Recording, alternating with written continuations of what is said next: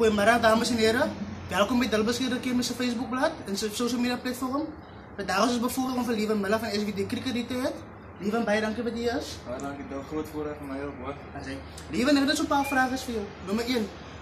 Vertel ons een beetje waar vanaf kom je. Geef een beetje meer achtergrond over wie hij is. Uh Dillik is van George, uh, grootgemaak, gebore aan in George. Uh, ek was op hoërskool uit in Nikwa. Um na skool het ek nog steeds in George gebly en ek by Swartveld um begin swat. Ek doen op week om ekonomie daar en speel cricket by SVD. SVD. Okay. Lieve, um, ons begin zo bij jouw support system. Wie was jouw support system over de jaren? Ik, ik bedoel, enige iemand heeft maar een support system. Wie was jouw support system? Ja, ek dink dit is baie belangrik. Um my familie moet sê dat 'n groot invloed in my lewe gespeel.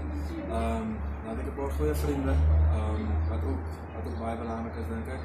En ek moet sê my flatmate en sy ouers, hulle het ook baie um aanwinst en waarde wat ek in in wat is. So ek was sal dit altyd waardeer. Uh en ja, dis maar dit. ook. Um, lieve, um, is er enige sacrifice wat je moet maken om te komen waar je vandaag is? Um ja, ek sal sê party partykeer moet 'n mens nee sê vir goed. Ek dink uh baie keer oor vakansies veral in Desember, um gebeur ons nou baie buite. Um maar ons speel baie van die tyd cricket oor Desember soos julle weet. Ja. As weke so uh, jy moet maar net leer om nee te sê partykeer. Dis altyd maklik. Ja, maar als, als er ja, je, is goeie, goeie ding. Lieve, hoe heeft die lockdown voor jou, jou als een speler geaffecteerd? Vroeg, vroeger in die lockdown. Uh ek moet sê dat ek dit hierdie tyd gebruik um, om 'n bietjie aan my liggaam te werk. Uh ek was altyd 'n bietjie aan die oorgewig kant. Ek het maar begin kyk na wat ek eet. Um ek begin hardloop, ek oefen programme hier besig weer kry en ek het maar so ver as moontlik dit ook weer volg. Um en ek moet sê ek het nogal goeie progress gemaak. Ek het omtrent so 15 kg verloor. Dat is bij je goed, dat is bij je So uh, ja, ek ek het, ek het maar tyd gebruik.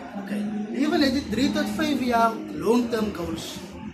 Ja, ek sal soos ek sê dat ek sal graag op plaas swat. Ek het nog seker so 'n jaar en 'n half, 2 jaar oor op die meeste.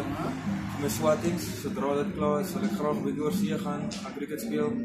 Ehm um, en dan so ver as moontlik doen as wat ek kan. Ehm um, myself koers. Dis maar dit. Je hebt nog genoemd, je staat in BCom Economics.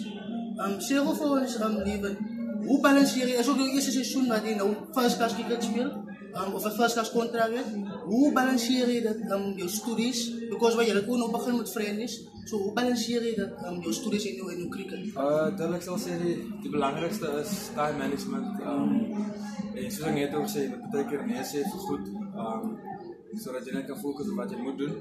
Ehm um, en ja, balans. Sal so ek sal sê balans is so baie belangrik. Je misschien enige doelwitten voor die op- op- komende cricket seizoen, seizoen, wat nu gaat Ehm begin? um, soveel ek wil soveel as moontlik vat. Ehm um, as wat ek kan in hierdie seisoen net op.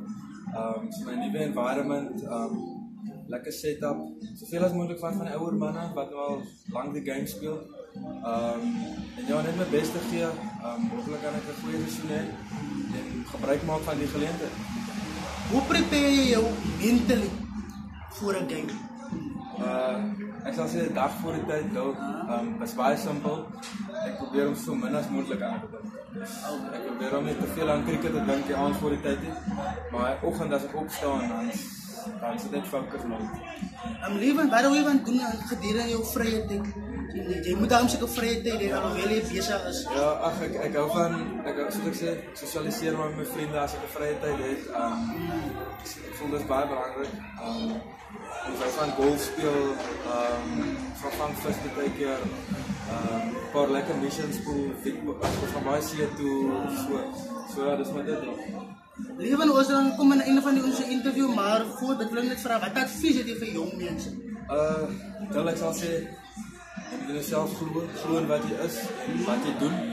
Ehm um, kyk jouself te alle tye. En dan vir my die belangrikste in terme van cricket is jy moet dit ook geniet.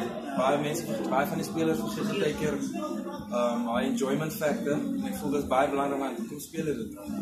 Van kleins af leer ons dit om te geniet. En om altyd jou bes te gee, hard te werk. Ja, harde werk by altyd afsê hulle. Baie belangrijk, dat is, dat is baie, dat is baie waar wat zegt. Leven, ons kom aan het einde van de interview, wil niet te veel vragen vragen. Ja, dat is recht. Baie dank voor jouw tijd. Um, sterkte voor die, voor die, met, met, jouw examen en, of met je studies. En sterkte met die opkomende seizoen. Baie dankie Dilek, waardeer dit groot voorreg hier. Dankie.